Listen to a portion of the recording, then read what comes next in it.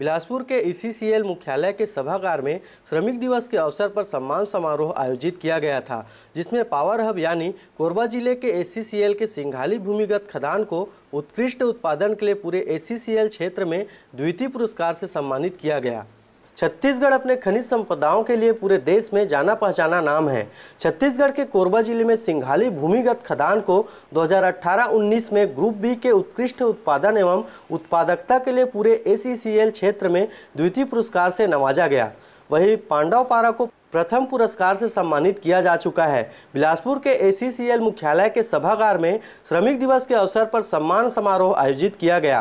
कल एक मई को श्रमिक दिवस के उपलक्ष्य में एससीसीएल मुख्यालय बिलासपुर में श्रमिक दिवस का खनिक दिवस का आयोजन किया गया था जिसमें सभी क्षेत्र में सभी माइंस में जो कार्य कार्य हुआ था उसमें उत्कृष्ट उत्पादन एवं उत्पादकता हेतु अध्यक्ष से प्रबंध महोदय श्री पांडा साहब के, के हाथों से एक्सेलेंसी अवार्ड का वितरण किया गया जिसमें सिंघाली भूमिगत खान को ग्रुप बी में एक्सेलेंसी में दूसरा स्थान मिला है।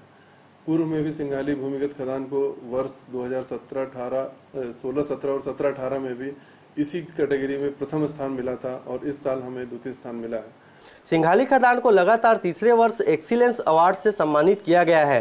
बिलासपुर में आयोजित सम्मान समारोह में सिंघाली भूमिगत खदान के जीएम नितिन फिलिप खान प्रबंधक एन के राय को यह पुरस्कार क्षेत्रीय मुख्यालय बिलासपुर के सीएमडी एसीसीएल एपी पंडा के द्वारा प्रदान किया गया। इस कार्यक्रम में director personnel doctor R S Jha, मुख्य सतर्कता अधिकारी बीपी शर्मा, पूर्व निदेशक एवं संयुक्त सलाहकार समिति के सदस्य उपस्थित रहे। कटघोरा से जयप्रकाश साहू के साथ शारदा पाल एवं शशिकांत डिक्सेना की रिपोर्ट आर जे रमझाझर।